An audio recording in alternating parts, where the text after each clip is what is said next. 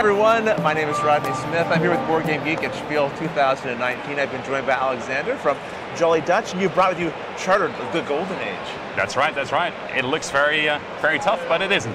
Okay, well, and I see in front of us we've got all of these 3D pieces and board. I'm very excited to jump in. Tell me what we've got here.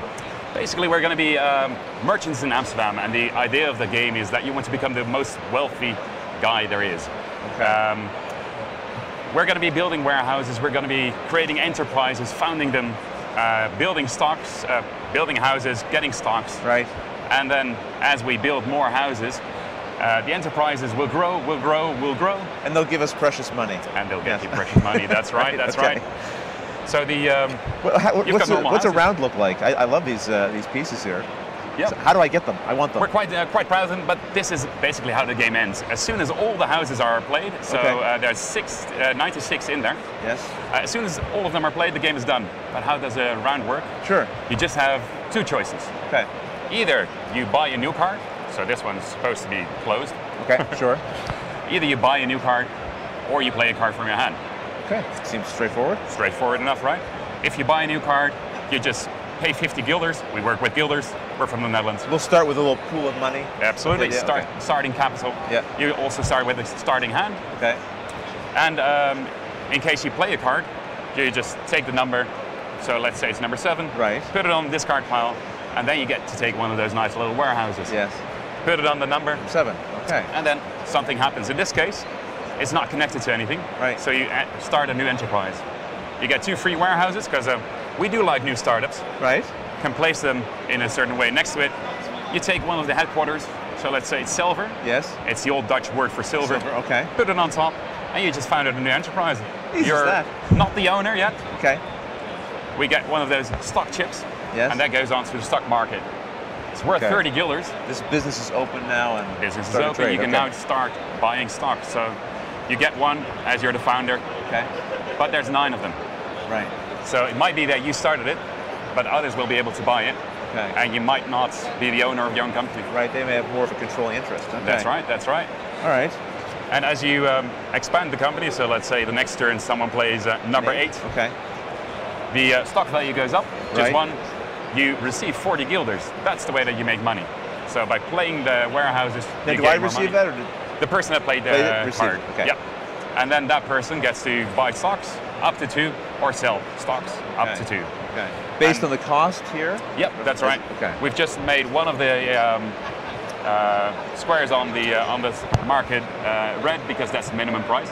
I see. All right. So if you want to buy silver, you have to pay at least 50 guilders. Gotcha. All right. But if you're, for instance, selling diamas, diamonds, yes. you get 80 in return Okay. per stock. So that's not too right. bad. Right. And uh, there's one more little trick that I wanted to show you, and that's the um, cards that will make you go up in the air. That's Ah, the yes. uh, level cards. So you take one of your um, warehouses, Yes. and you can place it wherever you like, as long as there's the previous level already. So a third level, you need a second level. I so got you. that's over right, here. Right.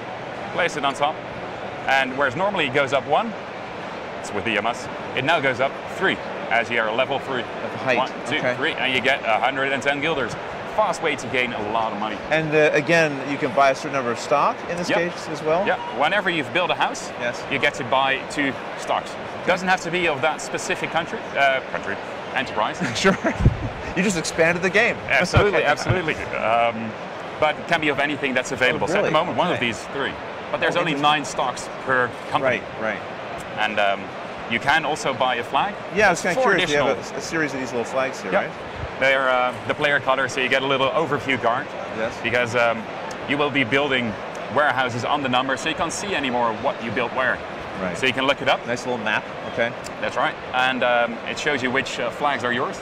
So in this case, I'm uh, red. Um, I built this one, has a fixed cost, 200 guilders.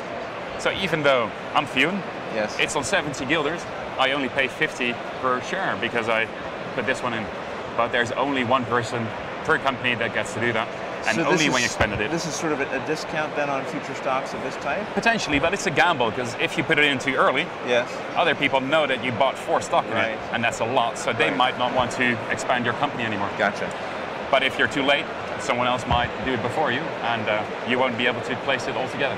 So, um, you said the game ends as soon as this supply is done. So how long does the game typically take to play? Uh, depends on how quick the players play, of course, but Sure. uh, we tend to say that for this side of the board, because this is a four to six player side, Right. it's uh, about an hour to an hour and a half.